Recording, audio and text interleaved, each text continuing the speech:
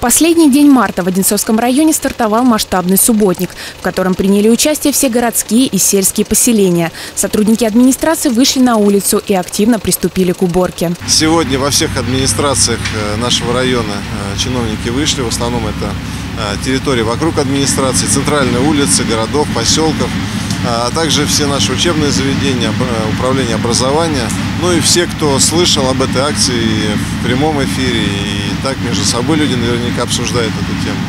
По инициативе главы района было решено не дожидаться запланированных общерегиональных субботников, а дать старт акции на несколько недель раньше.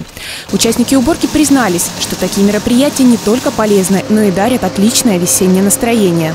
А сейчас э, управление образования работает здесь. Погода замечательная, несмотря на снег, настроение отличное. Я так думаю, что такой дружной командой мы сегодня справимся с этой делянкой, весь мусор будет убран. Все дружно собрались, вот это самое главное, вот эта коллективность. Э, я считаю, так должно быть. На самом деле все организации должны проводить подобные мероприятия и стремиться к этой коллективности, знакомиться. Тут уже все, как говорится, друг другу успели помогать. Наши работники Управления по делам несовершеннолетних и защите их прав понимают, что это нужно прежде всего нашим детям.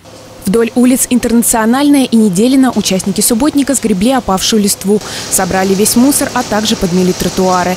В процессе уборки было задействовано 34 единицы спецтехники – самосвалы, тракторы, измельчители веток вышли структуры района, города Одинцова.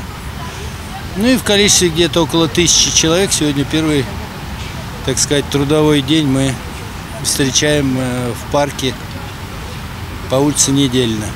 В ходе районного субботника чиновники собрали более полутора тысяч мешков с мусором.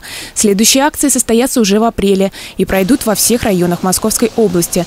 Запланированы покраска ограждений, ремонт детских и спортивных площадок, комплексное озеленение территорий. Анна Пряхина, Артем Ломоносов, телекомпания «Одинцова».